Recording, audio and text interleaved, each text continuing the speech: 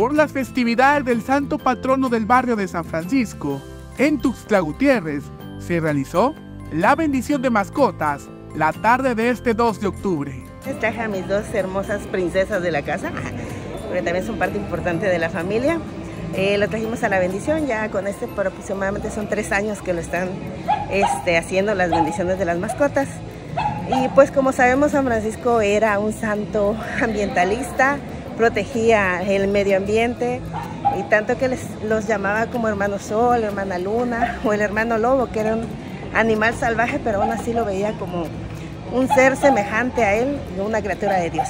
Las mascotas, que en su mayoría eran caninos, fueron llevados hasta el atrio de esta parroquia, la cual se encuentra de fiesta hasta el 4 de octubre, día en que la Iglesia Católica conmemora a San Francisco de Asís.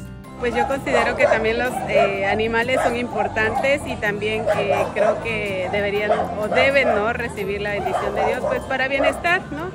Eh, más que nada para los que somos creyentes y tenemos fe, pues qué mejor que también exista como extra de Diosito ¿no? para con los animales. Para Alerta Chiapas, Eric Chandomí.